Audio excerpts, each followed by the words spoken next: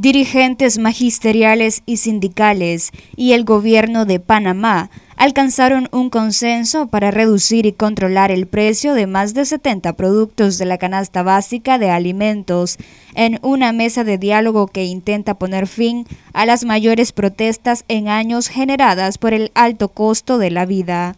Sin embargo, las agrupaciones sociales y el gobierno no logran concertar otros puntos que tienen que ver con regulaciones para el tope de utilidad de las empresas en la cadena de comercialización y otro relativo en las instancias estatales de regulación de precios. Esos puntos también figuran en el tema de la canasta básica de alimentos, el cual es el primero de ocho asuntos prioritarios a discutirse en el diálogo que comenzó la semana pasada.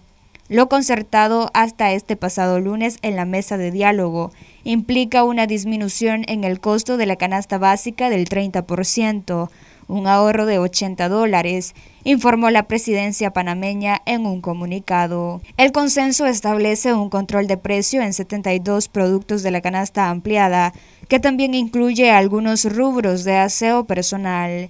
Otras demandas de las organizaciones sociales son la rebaja y congelamiento del precio del combustible, el abordaje de temas sobre transparencia en la administración pública y la corrupción.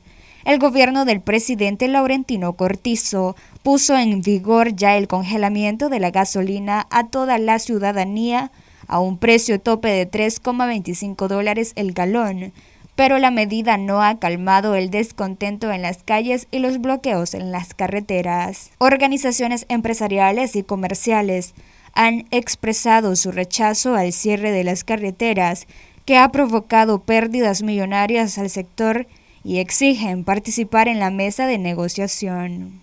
Para Noticias 12, Luisa Centeno.